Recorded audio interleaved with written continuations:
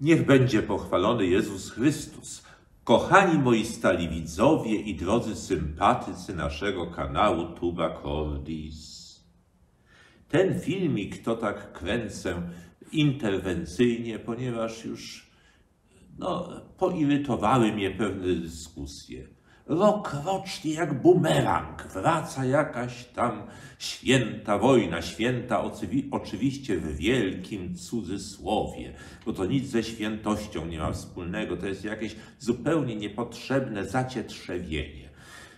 Chodzi mianowicie o to, co napisać na drzwiach po święcie Trzech Króli. Czy K, czy C? I poszliby na noże dosłownie, zwolennicy tego K i zwolennicy C. I jedni mówią, że tu chodzi przecież o imiona trzech króli, drudzy, że y, Christus mansionem benedicat, czyli niech Chrystus błogosławi ten dom albo temu domowi. No i teraz jedni drugiej gotowi są wykląć, anatemy rzucić wzajemnie na siebie, no, yy, od, odsądzić od czci i wiary. Nie, to jest błogosławieństwo dla domu, a nie żadne imiona tam. Nie, to są imiona, a nie żadne tam, yy, żadne benedikat, tak? A dlaczego nie może być jedno i drugie? Kochani, można i tak, i tak, twierdzę. Kto chce, niech pisze K, kto chce, niech pisze C. Tym bardziej, że C to też oznacza imię Kacpra, ponieważ łacina nie zna litery K. Mówi się K, ale pisze się zawsze C. Czyli Kaspar po łacinie pisze się, piszemy przez C. Także to może być Kacper, Melchior i Baltazar po polsku, albo Kaspar, Melchior et Baltazar po łacinie to w każdym razie chodzi na pewno o tych trzech króli, ale zaraz przejdę do, do błogosławieństwa domu. Ale o, trzech, o imiona trzech króli, tych zgodnie z tradycją oczywiście, chodzi z całą pewnością.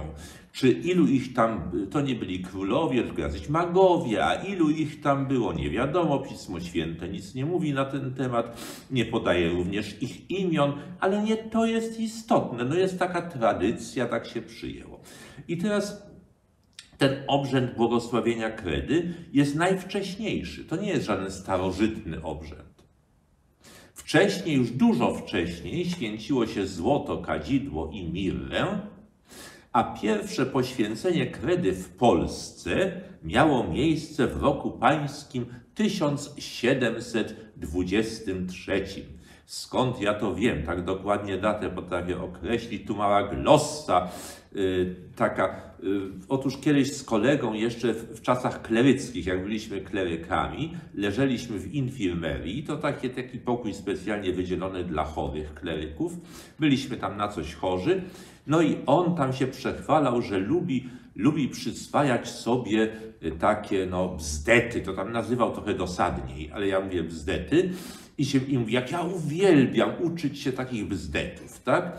No i teraz, y, i on tam wciąż mi powtarzał, kiedy było to, no y, nieważna w sumie data, przecież poświęcenie, pierwsze poświęcenie kredy w Polsce, aż sobie przyswoiłem i pamiętam aż do dzisiaj, że w roku pańskim 1723 no więc to jest świeża sprawa tak naprawdę. Ale w nawiązaniu oczywiście do obrzędu poświęcenia złota, kadzidła i miry, czyli jak najbardziej to są sprawy związane z tymi tradycyjnymi trzema królami. Bo oni ofiarowali złoto, kadzidło i mirę. I kreda też się z tym wiąże. Na potwierdzenie odczytam Wam, kochani, modlitwę, którą nieraz wypowiadałem święcąc kredę przed mszą świętą wszechczasów, przed w, święto Trzech Króli, przed tak zwaną mszą świętą trydencką, święciłem kredę i wypowiadałem wówczas taki tekst adiutorium nostrum in nomine domini i tak dalej, dominus vobiscum, oremus. Benedic domine deus creaturam istam crete, ut sit salutaris humano generi, generi. et presta per invocationem nominis tuis sanctissimi ut quicumque ex ea sum sumpserint vel in ea in domus sue portis sum scripserint nomina sanctorum tuorum Gasparis, Melchioris et Baltasar per eorum intercessionem et merita, corporis sanitatem et anime tutelam percipiant per Christum Dominum nostrum. Amen.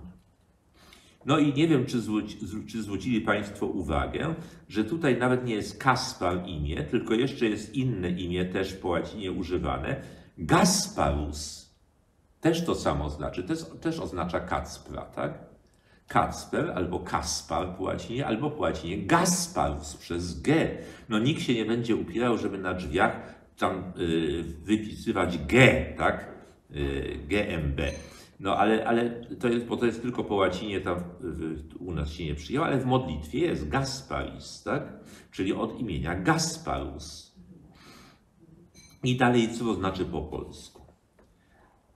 Módlmy się. Pobłogosław, Panie Boże, tę stworzoną przez Ciebie kredę, aby była zbawienna dla rodzaju ludzkiego i udziel przez wezwanie Twego świętego imienia, aby ci, którzy ją zabiorą lub napiszą na drzwiach swoich domów imiona Twoich świętych, Kacpra, Melchiora i Baltazara, przez ich wstawiennictwo i zasługi otrzymają zdrowie ciała i opiekę duszy przez Chrystusa, Pana naszego. Amen.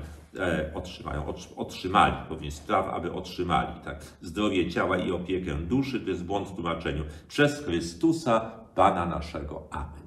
Czyli wyraźnie są wymienione te imiona.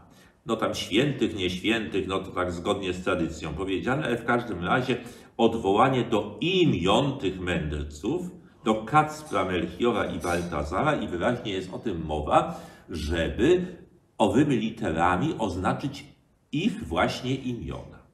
Co nie znaczy, że jeżeli zapiszemy z łacińska C plus M plus B, oczywiście ja wiem, że ten plus to jest krzyżyk, niech mi się nikt nie czepia, tak? Ja to doskonale wiem, ale teraz mnie nie obchodzi semantyka, tylko grafia sama, dlatego mówię plus.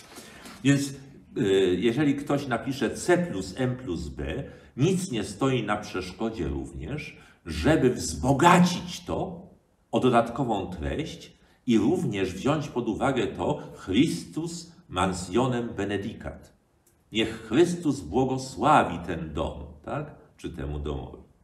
Jak najbardziej. Zresztą to jest też implicite zawarte w samym użyciu owych trzech imion. Też. No wiadomo o co chodzi. O to, żeby Pan Bóg bronił, żeby błogosławił i żeby każdy wiedział, że tutaj mieszka katolik.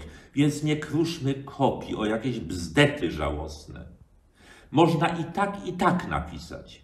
Na pewno chodzi o imiona tych mędrców tradycyjne, ale, ale także nic nie stoi na przeszkodzie, żeby podkreślić to, że prośba do Chrystusa, aby dom, domowi temu błogosławił, tak? To nie jest absolutnie sprzeczne, to się dopełnia, to się wzbogaca. Także wybierz sobie co chcesz. Pisz K jak chcesz, pisz C jak chcesz, tylko na miły Bóg. Nie kłóćcie się, bo naprawdę nie ma o co. Nie macie większych problemów. Właściwie o co i po co ta święta wojna?